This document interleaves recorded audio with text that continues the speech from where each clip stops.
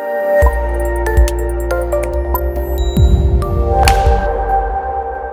I think uh, obviously proud to definitely, but uh, ऐसे कभी सोचा नहीं था कि मैं वहाँ पे खड़ी होकर सल्यूट करूँगी to all these beautiful special kids और um, काफ़ी इमोशनल और काफ़ी इंटरेस्टिंग एक्सपीरियंस रहा।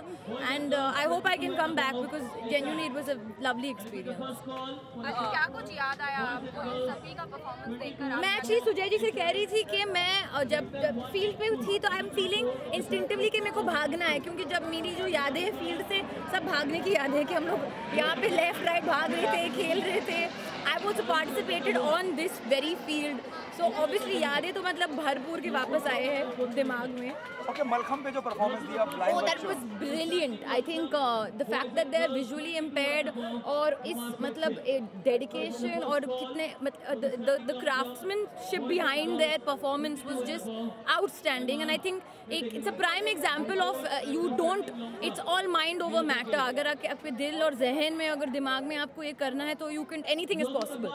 Make you feel quite like shameful of yourself actually कि हम you know af- after having the abilities also don't really push ourselves. Okay new year is round the corner what's your preparation for new year school के tournament में participate किया था? मैंने जैसे मैंने कहा था कि मैं हैंडबॉल में पार्टिसिपेट करती थी and of course inter school activities में but obviously I was not really this top level sports में but I was interested in it क्योंकि मुझे पढ़ाई से थोड़ा दूर रहना था so I to do everything else